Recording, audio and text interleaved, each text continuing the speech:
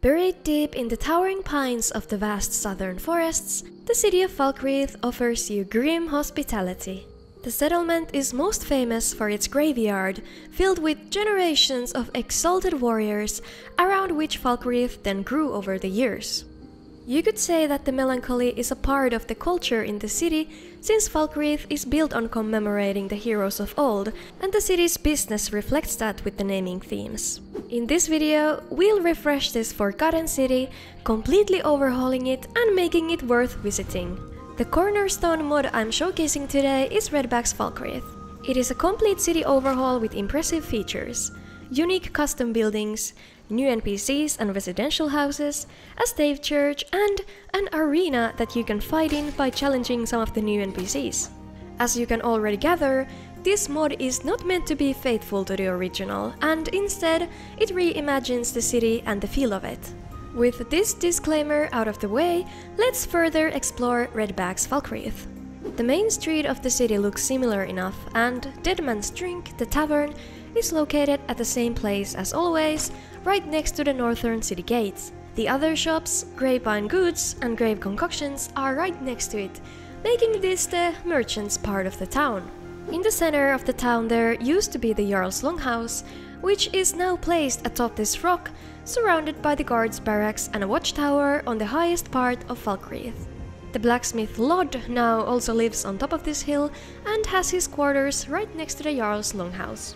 The graveyard is expanded beautifully, and the Hall of the Dead itself is removed and replaced by the atmospheric stave church and mausoleum, both of course equipped with shrines of Arkay. Even if the original building is removed, I feel like RedBag's Falkreath is faithful keeping the theme of loss of life present in the town, even enhancing it with the burial chamber. The stave church is familiar from RedBag's earlier mod, which placed these medieval Norwegian churches in different picturesque spots in Skyrim. Now, the part you have been waiting for, the arena. You might think, what the heck is this arena doing in the middle of the town, and in Falkreath of all places? This would be the first fighting arena in all of Skyrim, and reminiscent of the arena in the Imperial City. The way it works is simple. The mod adds new warrior NPCs to the city, which you can chat up and challenge them to a duel in the arena. These warriors can be found in a tavern or the Jarl's Longhouse, and challenging costs 100 to 500 septims, which you will double if you win. Kaching! All of the quest happens instantly when you challenge someone, and I find it to be implemented well. A big plus is that the NPCs have appropriate voice lines even after you've dueled with them. In the city, there are also four new houses for the residents to live in, which for its part makes Falkreath larger and feeling more populated. Now let's take a brief look at the interiors, because of course they have been overhauled as well to match the buildings. The tavern, Deadman's Drink, is certified cozy RedBag quality. It's larger too, and now you can enjoy the company of these warriors while listening to Delacorte's beautiful tunes. The bedrooms are perfect for spending a night in the town, but my favorite must be the one in the attic.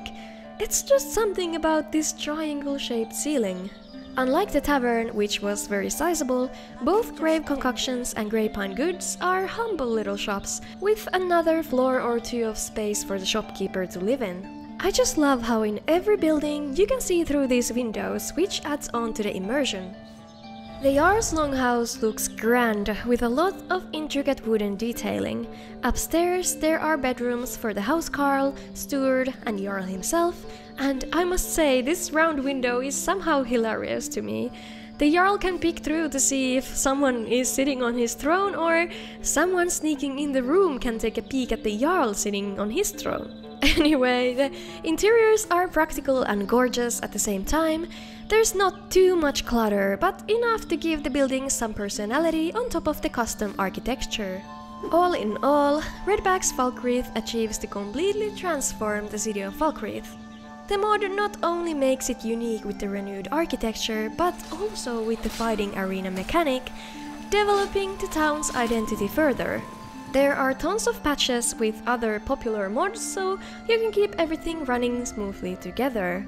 In my opinion, this overhaul is amazing in its boldness, but that's nothing new when it comes to RedBag's creations, and that's why I enjoy his creations so much. Let me know what you think.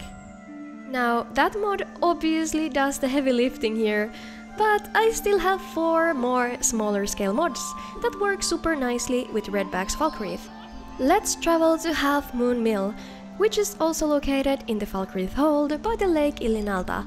Oh, by the way, just Look at this beautiful paper map. It's a mod called Skyrim Paper Map by Caro Tuts. I have been completely in love with it. The art is just so satisfyingly pretty. Okay, anyway, now to the Half Moon Mill. Here, let's take a look at the mod called RedBag's Falkreath Half Moon Mill Add-on. This mod visually overhauls the lumber mill location with the same assets used in RedBag's Falkreath, making the style of the hold stay consistent. The hut is changed from being another Skyrim farmhouse to this distinct new style, as well as the bridge and the sawmill. The interior of the cottage is also revamped and now it's a perfectly cozy little place, even for being a vampire nest.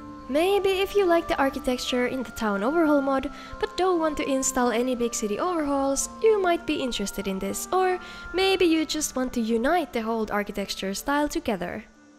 Now, how about we find a place to live next to the city of Falkreath? I actually have a perfect player home mod reserved just for this video. I have been waiting for this moment to happen. Can you spot those lights up in the forest? Ladies and gentlemen, this is Falkreath Treehouse. This atmospheric little treehouse is located right next to the city, on top of a tree where you can climb up this ladder. No need to find a key or pay any gold. This player home exists fully in the exterior cell, so there's no door to load inside another cell. It is designed for an alchemist, a hunter, or a druid character, and all of the decoration reflects that. There's alchemy ingredients everywhere, along with flowers, herbs, and mushrooms. One thing I absolutely adore about this player home is the interactiveness of it. You can roll out this bedroll, set the table, open and close the shutters, and light the fire pit. In addition, there are idle markers around the home, so you can chill around the treehouse, meditate or read books, and take neat pictures of it. There's a lot of storage and, of course, essential crafting stations. This player home is wonderfully cluttered and beautifully atmospheric, and now I can't stop thinking about creating a Bosmer Hunter character to inhabit this place. Would you enjoy living in this Falkreath treehouse? The last two mods I still have left to showcase are small, but they're the sort of mods to add on to the environment and the tone of Falkreath. The first time you enter the famous graveyard of Falkreath, you'll witness the memorial of a nine-year-old girl, Lavinia, who was recently killed by a werewolf. Her parents, the farmers running Corpse Light Farm, are grieving their daughter, and by speaking to Matthias, the quest regarding the werewolf begins. Lavinia's memorial adds a little grave and a memorial place for the late daughter and decorates it with her doll, flowers, and candles. There's also an added gravestone inscription from her parents, and yeah, needless to say that this one is enough to make a strong Nord woman cry. Have you read the spooky Skyrim books, The Woodcutter's Wife or The Cabin in the Woods? Don't worry if you haven't, you can go listen to them on my other channel, Sleepy Bard, where I read them aloud for you. Okay, enough self-promo, back to the mod. Well, the mod is actually very much related to these books, just a spoiler warning.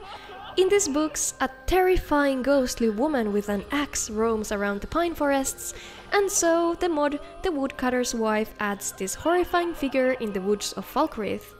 She is hostile and you can try to kill her, but she will return the next night. She will always return as she is cursed to. Thank you for watching the video! Falkreath has always been my favorite city and hold, so it was really fun to go back there and properly mod it out, to give it some more character. If you want to support the channel, check out my Patreon, in there I upload extra content, usually with a more light-hearted tone too, such as bloopers reel. My biggest thank yous to my patrons, especially Tavern's legendary patron Star095 and Ryan Ulrich. I appreciate you all so much and wouldn't be able to keep creating so often without your support. All of the mod links can be found in the description box, along with the link to my mod list and other technical details for those who are interested.